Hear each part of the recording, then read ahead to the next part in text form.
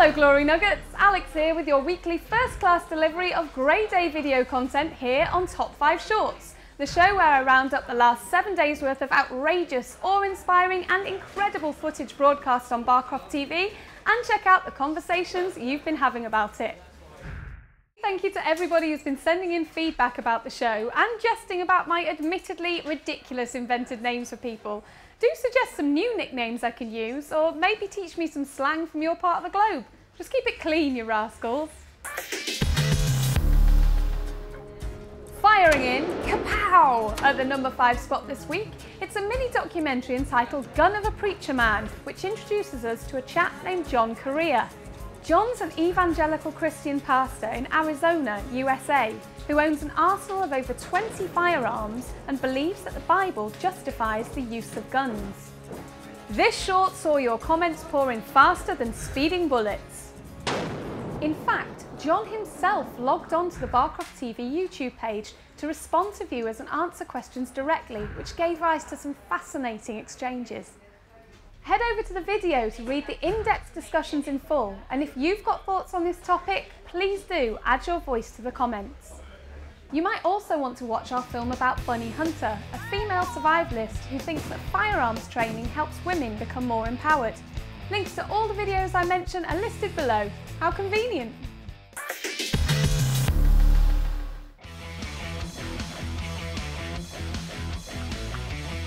Going from the type of guns you fire to the type of guns you flex. In at four, it's Becky Barrett, the weightlifting mum who's training to compete in Strong Woman Championships. She can pull cars, raise eight stone barbells above her head, and deadlift over twice her own body weight. I love it when you guys spot the quirky little details that lurk in our footage, and several YouTubers clocked that at 2.28, Becky's partner Adam has some seriously fancy bling bling nails going on. Superbly spied everybody, perhaps Becky's daughter Kayla had something to do with that.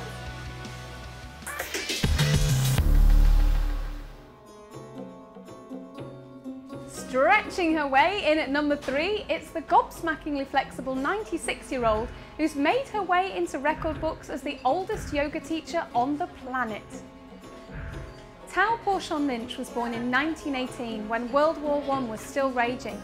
To give you an idea of how different things were back then, bubblegum, cheeseburgers, toasters, instant cameras and band-aid plasters, none of them existed. I love Dom Fishing UK's comment who says that Tao should join the Avengers. She does look like she's got superpowers. For better or for worse, in sickness and in health. And number two is the girl who married a dog. Many of you tried to be respectful towards the villagers' beliefs, even if you didn't agree with them or found them odd. But a lot of you thought the wedding was absolute nonsense and said you felt sorry for the girl and the dog. Over on Facebook, Vanessa Narian observes that in some parts of India, men also get married to dogs, so the tradition isn't just restricted to women.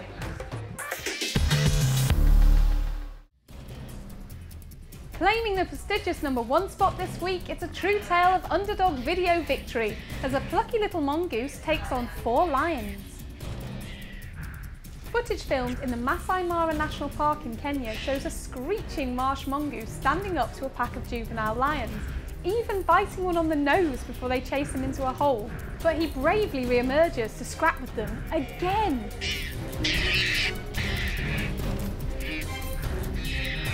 This tiny but mighty charismatic animal reminded more than a handful of you of another character who's famous across the internet for being small of size but ferocious of spirit the hallowed honey badger. What would happen if those two ever met each other? The ultimate death match. That's a wrap for this week, but let's give you a cheeky clue about what's coming up over the next seven days. These enthusiasts have taken their passion for dolls to the extreme. Bye bye for now though. See you next time, Mallow Boglins.